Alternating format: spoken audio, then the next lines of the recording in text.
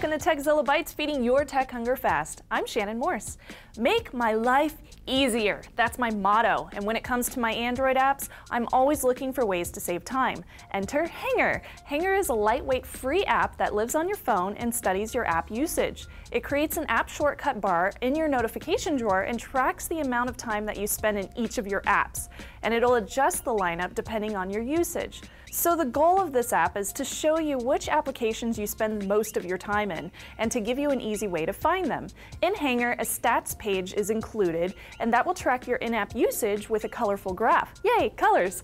A widget is also available to add your most used apps to your home screen. The apps widget is customizable down to the color, the notification icons, and also alignment. Secondly, there is also a stats widget.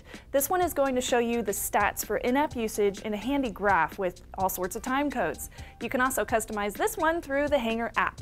If you see an app that you really don't want in Hangar, you can use the blacklist to block it out under the Apps tab in Hangar. Customizations can also be made in the app itself, including whether you can see the app shortcut bar in your notification drawer, the icon colors, and also the icon size. So you guys can check out Hangar. It is free in the Google App Store. And maybe you should give the Lynda app a try. And bonus points to you guys if you get it into your hangar tray.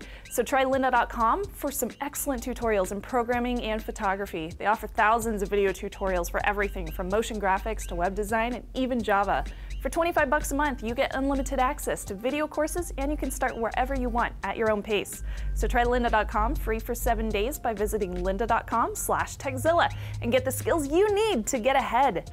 And for more from Tekzilla, hit up youtube.com slash Tekzilla or tekzilla.com and check out our Tekzilla Bite about App Config, an Android application that'll let you configure system settings on an app-by-app -app basis. I'm Shannon Morse. Thanks for watching.